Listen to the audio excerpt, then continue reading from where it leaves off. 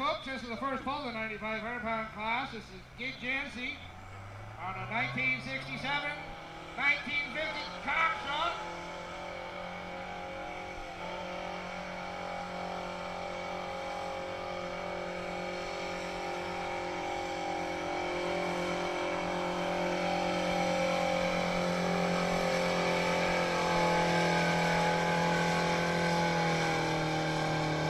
That's it, that's all.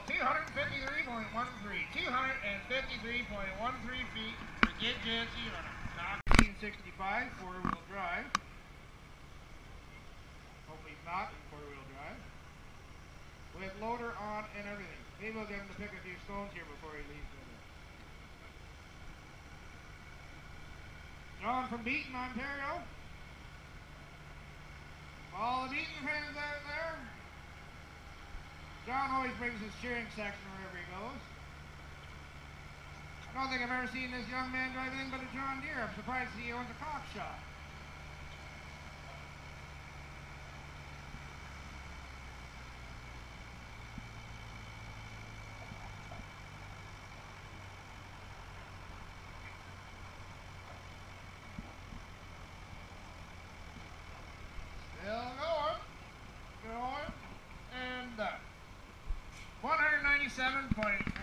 197.53 feet for John Alexi. In the smoky bars, live on the tips from a pickup.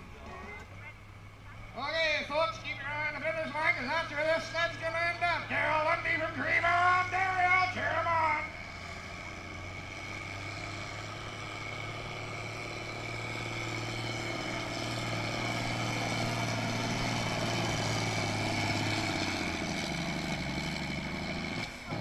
Not quite. 281.03. 281.03 feet for Daryl Lundy on a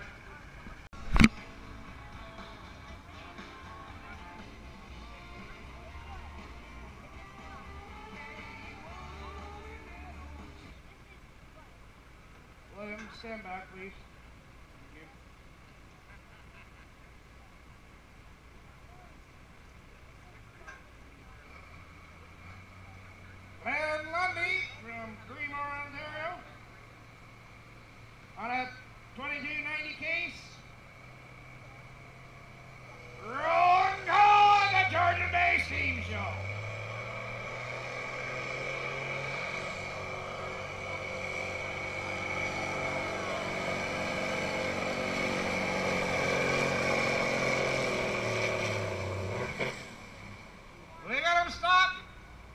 we got an issue here.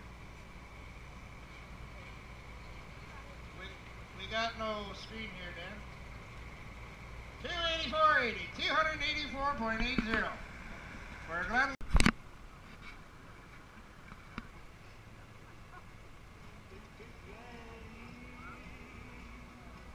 We got Glenn Hunt up here. Puller the 10 5.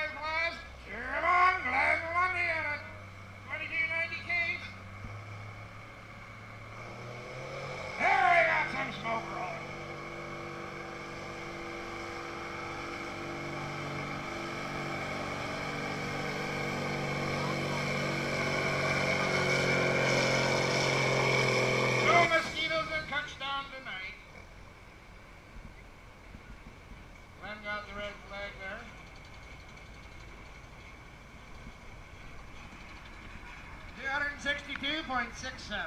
262.67.